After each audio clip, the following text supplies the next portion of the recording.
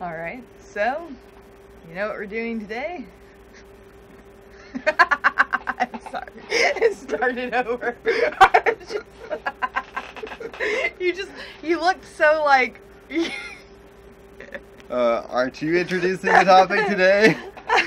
I was, but for some reason I expected you to like, like gifted over to me or something. Uh, yeah. What are we doing today? Okay, so today we're going to write a program. Well, Zach's going to write the program, and we're going to use some threads, and we're going to try to get them to make use of a lock. Now we're going to race them at it all at once, and we're going to use a hundred of them. And whoever holds the lock last, we're going to print that number to the screen. So, Okay, so what will we need to start this program? well, fir- first off, we need a, a source file. So whatever we'll call it, race.c. Sure. We need standard input output because we want to use output to put something on the screen. We need might need lib.h. It tends to come up um, from time to time. If I, yeah. Okay, so we, we need pthreads obviously. I don't know why I always want to pluralize it. It's pthread. Yes, because you never just use one thread.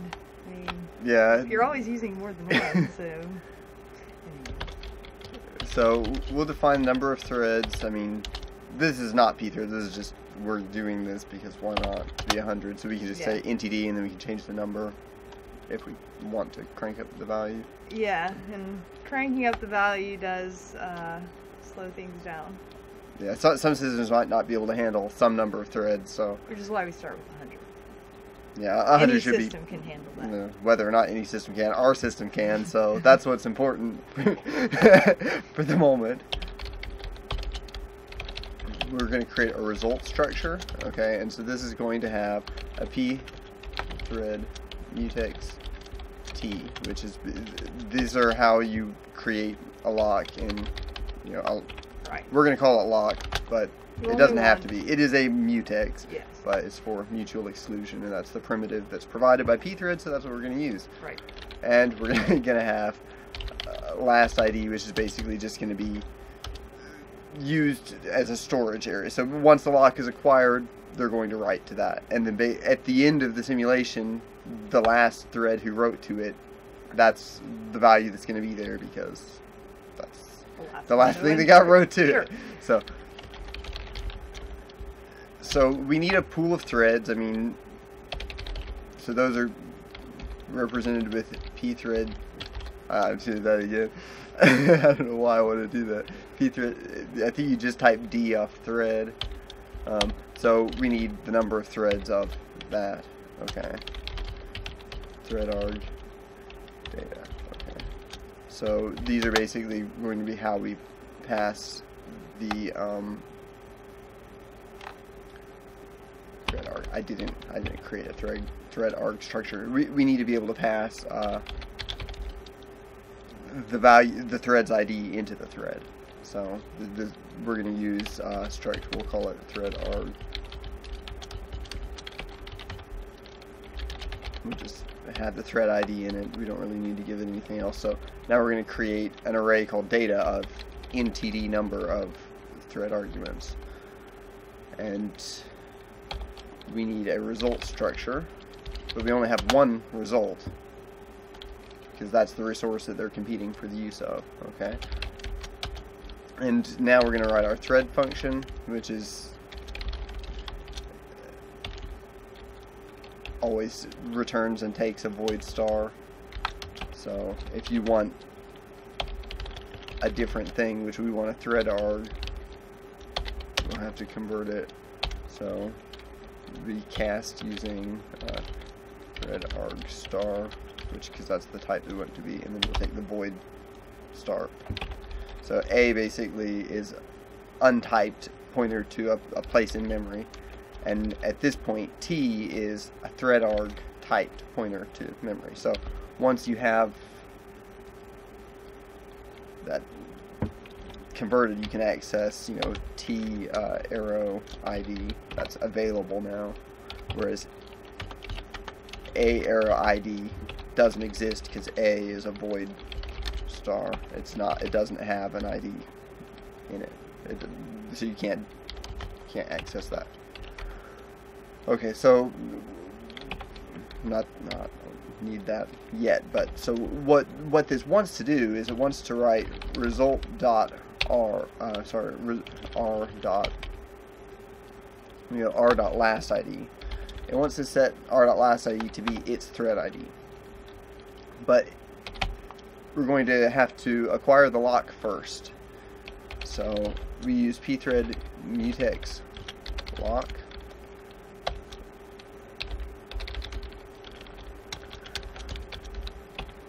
And when once we've acquired the lock, then we do our business, which is writing our thread ID to the last ID.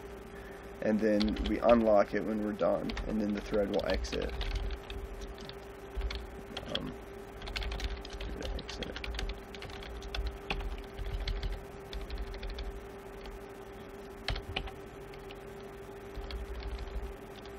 So now we'll, write a main function which is going to launch some of these.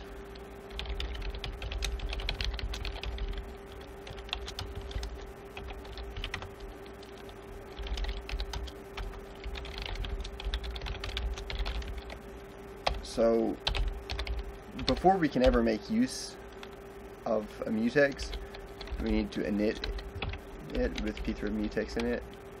And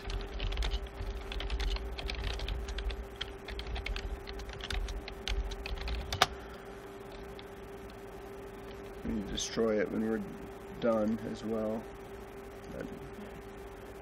we have this attr, which we do, if attr is null, the default mutex attributes are used. The default attributes are suitable for our purposes, so we just that's we, we yeah. just pass null there. Okay, so uh, I, we're gonna go through i zero, i less than ntd.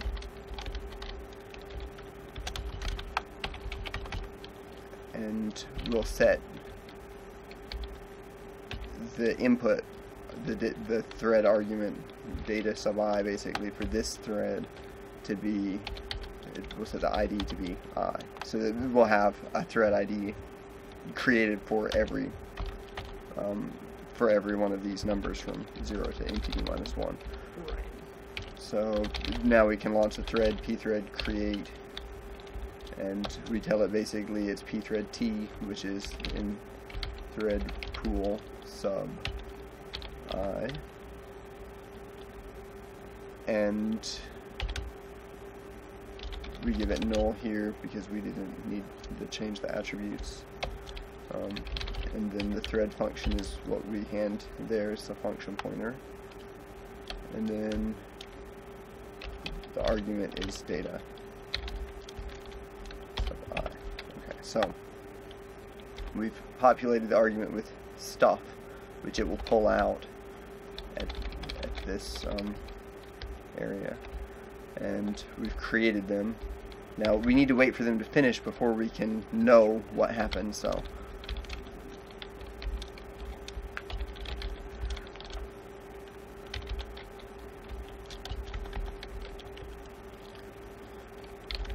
We pthread join, and again,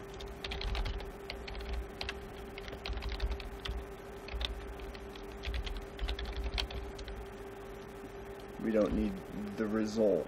We need an extra print, close parenthesis there. And uh, at this point, we could print an error message.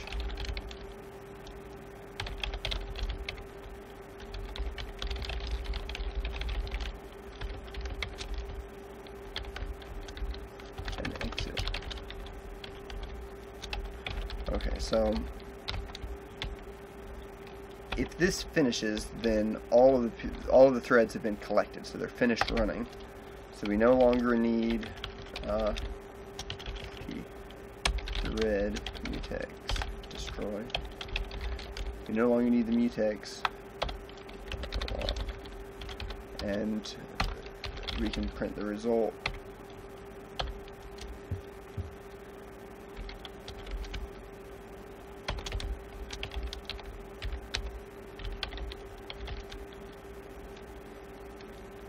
Okay.